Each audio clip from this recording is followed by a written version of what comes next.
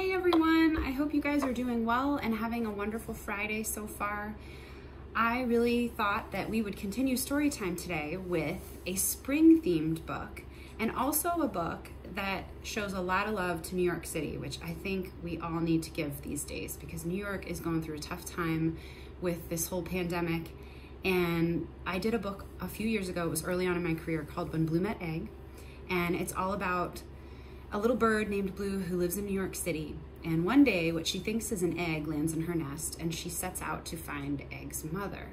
And I wrote this book because I used to live in New York City, and I felt very small when I lived there. And I was so proud of myself towards the end of living there uh, when I felt like I could navigate the city confidently and I knew where I was going. And so today I thought that we would show New York a little bit of love and we would celebrate springtime with When Blue Met Egg. And I want to give a special shout out to Henry because I know how much he loves this book and I hope you enjoy reading it with your mama today. So this is When Blue Met Egg, written and illustrated by me.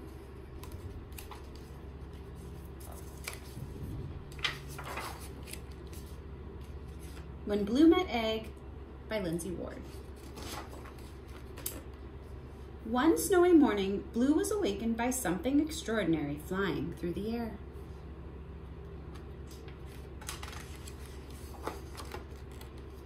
A rather strange egg, my, you're early. How did you get here? asked Blue. Egg was quiet. Well, said Blue, you're awfully cold and wet, Egg. I guess I'll have to watch over you. Blue packed Egg in her bucket and decided to look for Egg's mother. First, they went to the boathouse. Did anyone lose an egg? asked Blue. No missing eggs. Then they checked the terrace fountain, but Egg's mother wasn't there either. Maybe she had some errands to fly, thought Blue. We better look for her. Blue and Egg left the park. Bravely venturing out into the big city. Blue tried to think of all the places she had seen other birds in the city.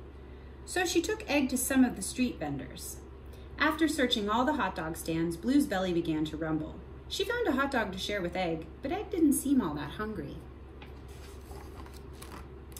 Blue remembered seeing lots of birds atop the city's skyscrapers, but nobody seemed to be looking for a missing egg. Where could Egg's mother be? Blue was starting to panic. She liked spending time with Egg, but she knew Egg's mother would be worried. They just had to keep looking for her. Finally, after trekking all the way downtown, Blue saw a huge flock of birds flying toward the park.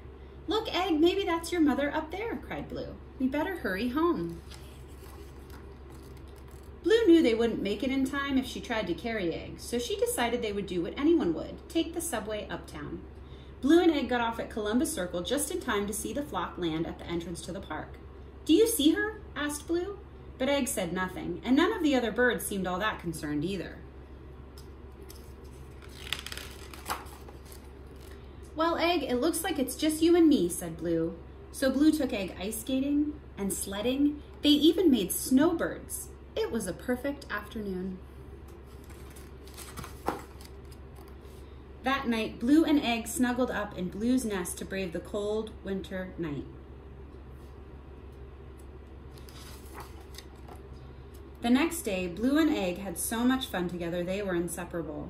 Pretty soon, days turned into weeks and weeks turned into months.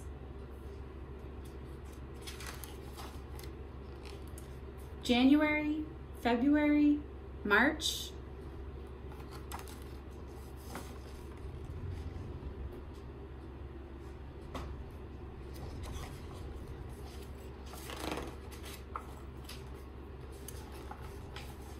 And in April, Blue noticed the whole city was slushy. The days were getting warmer and Egg was getting smaller. At first, Blue thought Egg was sick. She tried everything to make Egg feel better, even soup, but that just seemed to make things worse. The next morning, Blue woke up to the first sunshine of the year. She turned over to check on Egg. But Egg was missing! Egg! cried Blue.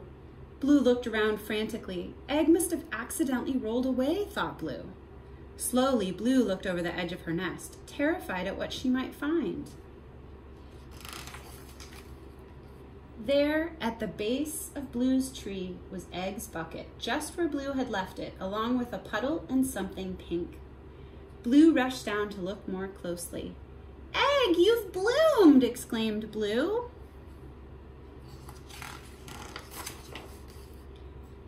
I think you're going to love this time of year, Blue told her friend. So did you guys figure out what egg actually was? If not, you can go back to the beginning of the book and there's a hint on the very first page with what the kids are doing in the background. So I hope you guys enjoyed When Blue Met Egg. And one of the funnest things about this book is that it is set in a real place. It's set in New York City. And that means that on the end papers of the book, you can go in and see all the places that Blue and Egg go because they're real places in New York City. So I hope you enjoyed reading with me today. And I hope you guys are all staying healthy and safe and have a wonderful weekend. Bye.